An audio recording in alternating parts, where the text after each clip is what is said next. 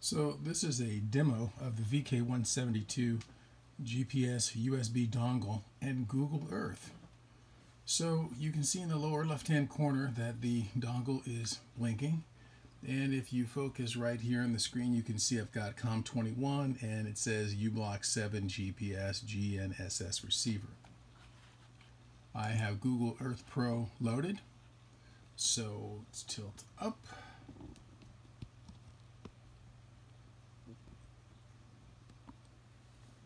I come up here to Tools, click the GPS button, switch to Real Time, say Real Time Tracking Start, starts reading COM21, which is the port, and voila,